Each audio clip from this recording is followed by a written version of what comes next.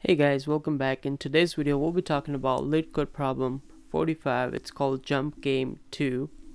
So let's look at the description. Given an array of non-negative integer nums, you are initially positioned at the first index of an array.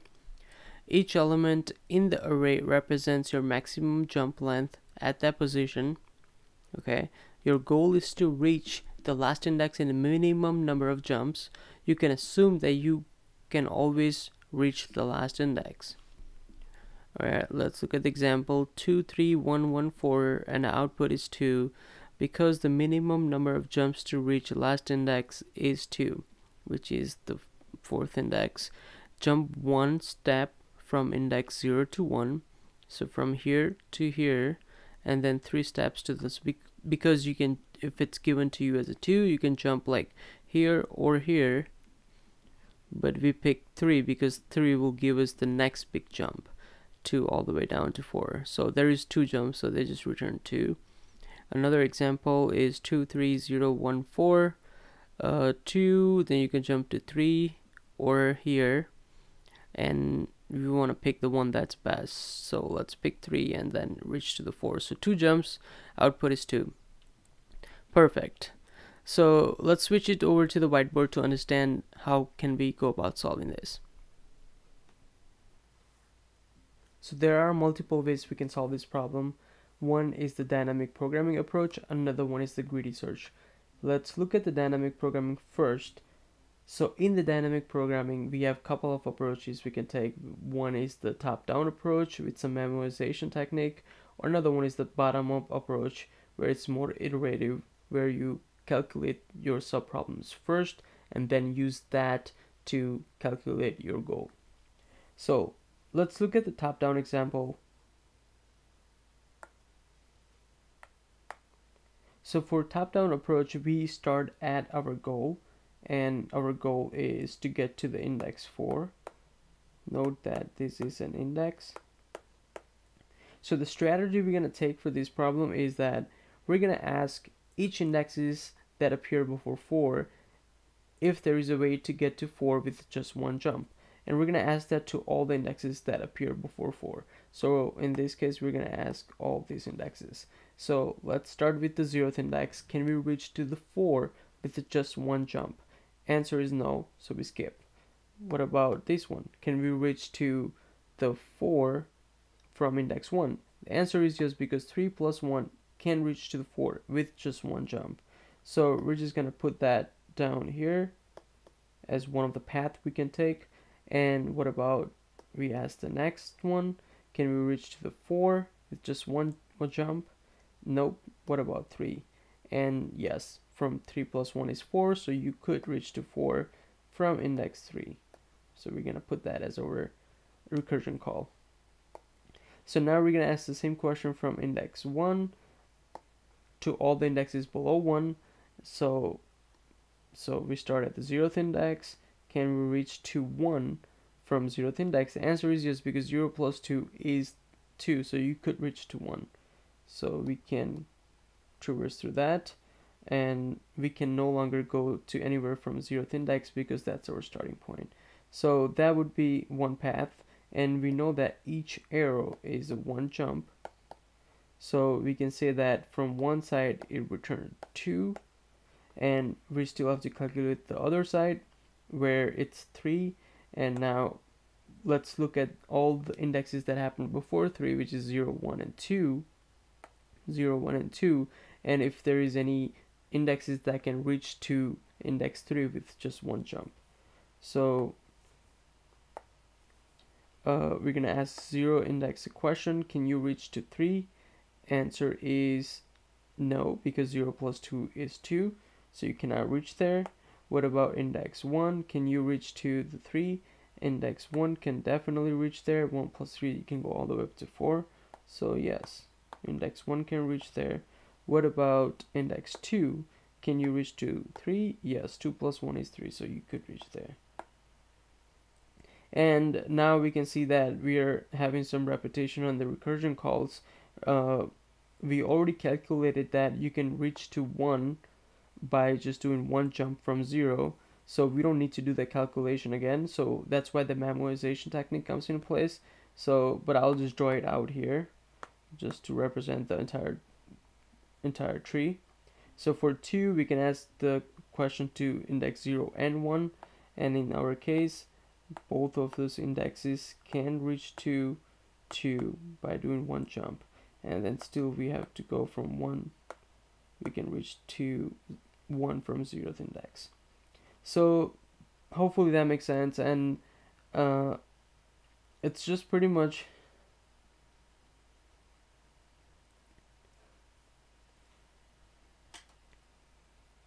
so now let's look at the right side's uh, jump counts. So one here one here one here one here one here one here and one here. And we can already see that if you pick the even the shortest route which is pretty much this one. It's still taking us three jumps. So we can say that the minimum number is the left tree in this case which is just two jumps. So we can return two. So let's discuss the runtime complexity of this algorithm. So runtime for this. So we started at the index 4 and then we scanned each uh, index that appeared before and the and we found out that there are a couple of other indexes 1 and 3 that could reach to 4 so the thing is that at every index if we wanted to know how many jumps it needs to take we had to scan every index before that. So you can say that for every index we had to scan every index that happened before index minus 1 pretty much n minus 1 so that would be the runtime complexity of this and you can also represent this as O of n square. So hopefully a dynamic programming approach do make sense to you guys. Now let's jump into the greedy. Okay guys, to understand greedy approach, I've taken a little bit different example to work with. So in this example, I've given you guys the best jumps on the right side of the screen right here. It's the 0 to 1 1 to 5 and 5 to 7 that's how we're gonna jump to get to our goal. And we can return 3 as our jump count because it needed one jump right here one jump right here and one jump right here. All right cool. So how did i get to this answer? Let me draw a uh, little table to uh, explain it a little bit better uh, let's start at 0 because that's where we have to start and we have to reach to at least of index 7 when i say at least is at least what that means is that you can even reach to 8 but in that case you can still reach to 7 so that would be our goal. So we are starting at 0 let me switch a different pen. We are starting at 0th index and and we're gonna ask a question. Hey what's the max we can reach from 0th index so we look at the index 0 and we say that 0th index is 0 plus 2 which will give us 2. So from 0th index you could reach to max of 2 and we're gonna ask a question here. Hey, is the 2 our goal? And answer is no, 2 is not the goal because our goal is to reach to the 7th index. So we need to make one more jump after you reach to 2. So would that be wise to jump from 0 to 2? And the answer is no, because we already know the best jump, best jumps right here, it goes from 0 to 1. So let's put the 0 back in here. Sorry, 2 back in here. From 0th index, you can do the max jump at the index 2. And what are the potential jumps you could have made from 0th index to, to 2? So potential jump would have been 1, or 2. Those are the indexes. So you could have jumped to index 1 or you could have jumped to index 2. So now we need to pick one of those which will give us the next best reach. So let's see a 1. If we would if we pick 1, what would be the next best jump that we can take from 1? 1 is if you look at the index 1, uh, the, the value at index 1 is 4. So we can say that 1 plus 4 will give us the 5. So we know that 1 will give us 5. And what about index 2 right here? So 2, if we look at the value at index 2, which is just 1, so 1, 2 plus 1 is 3. So we know that 1 is going to give us a higher jump than 2. So we can't jump at 1 from index 0. So that's what uh, we determined that we're going to jump from index 1. Okay, let me undo that. Right. Okay, so I'm just gonna draw another line right here and we're gonna say I'm gonna jump from one. And now notice that when we go from one row to another, there is a jump right here. So I'm gonna denote one jump right here. So we jump to zero to one. And now we're gonna ask the same question. Hey, what's the max you can reach from one? And the max you can reach from one is five. Okay, is the five our goal? And the answer is no. So we need to keep on finding, uh, we need to find all the potential jumps that we can make from index 1 right here.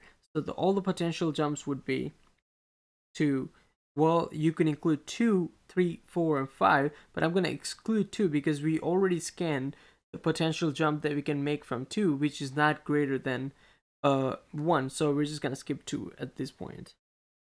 So I'm just going to put four, five.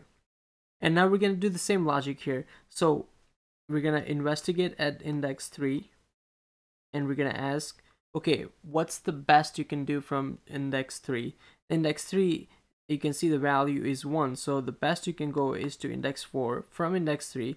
What about index 4? The best you can do from index 4 is to go to the index 6. And what about index 5? The best we can do from index 5 is to go to index 8. So we're to have to pick the one that gives us the greatest result and that index is 5 right here. So we're to jump to index 5. Sorry, let me just keep using the same pen. Index 5. Now, what's the max reach from index 5? The max reach from index 5 is 8. Now we're going to ask the same question. Hey, is 8 the final goal? And answer is yes because we could jump to 8, then we could have jumped to 7 as well. So if we see the max reach is greater than or equal to our goal, we can conclude that uh, we could just jump straight up to our goal uh, with just one jump. So we can see here that we needed one jump from 1 to 5 and we needed one jump from 5 to 8 so that is our jump count 1 2 and 3 okay hopefully that makes sense. And let's just see how we can go about implementing this from this table right here. So we can see that we started at index 0 we looked at its max. Max wasn't the a goal so we scanned every index in between 1 and 2 and then we incremented our jump count we keep track of the next max and then we scan every index that we haven't scanned yet which is three four five. So you can kind of see there is one two three four five. So we can we can create some sort of loop that goes through one two three four five and it will increment the jump as soon as we reach to the max from a index that we are working on so let's jump into the code and try to implement it to make it more clear. Alright guys, let's implement the solution here. So we're going to start out with some of the cases where you cannot jump at all. And those cases are if the num's length is less than or equal to 1. That means there is only one index and you cannot jump anywhere from that. Or the nums at zeroth index, there is no jumps from zeroth index. So in those cases, we just want to return zero jump counts. Okay, so let's uh let's see how many variables we're gonna need. So we already know that we're gonna need jumps. We're gonna need a max. So the max we're starting out with the zeroth index, so the we're gonna fill it up with the zeroth index is max. In our case, you can already see the test case I've defined down here. Uh, which will be 2 in our case for the starting max. And we're gonna also need some sort of a scan indexes, which we already looked at in the graph earlier, that it starts at 1, 2, 3, 4, 5, 6, and so on and so forth. So let's uh, run a loop.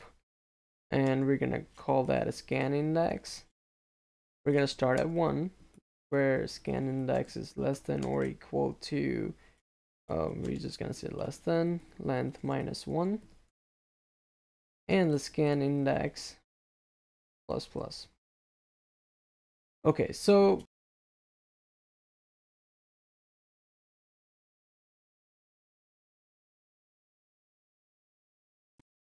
I don't know what happened my screen frozen. Okay so if we can reach to the maximum and our maximum is our goal then we can just increment our jump count and we can return so if max is greater than or equal to our goal which is nums dot length minus 1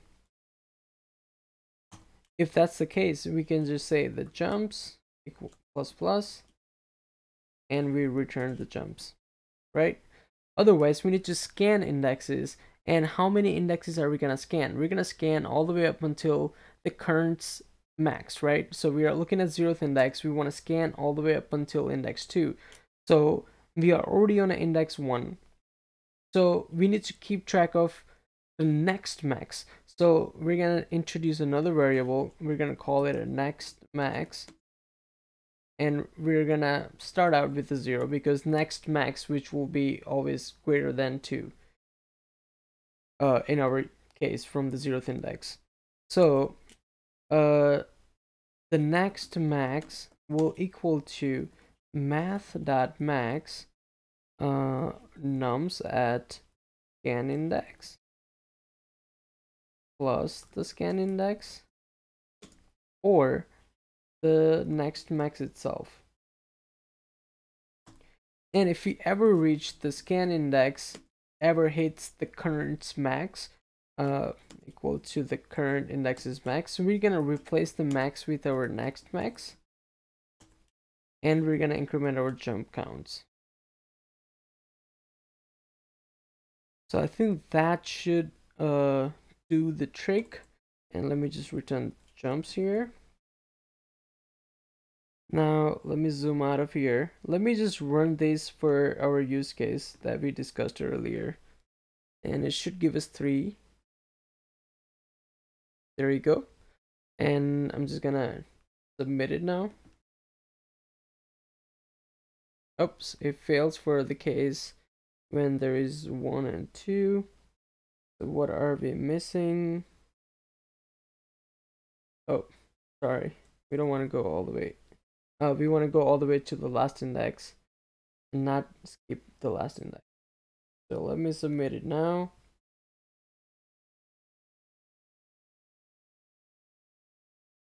There you go, guys. Uh, well, thank you for watching. If you have any other questions that you want me to discuss, please put it in the comments section. And uh, please like, share, and subscribe. Uh, thank you, guys. Have a nice day. Bye.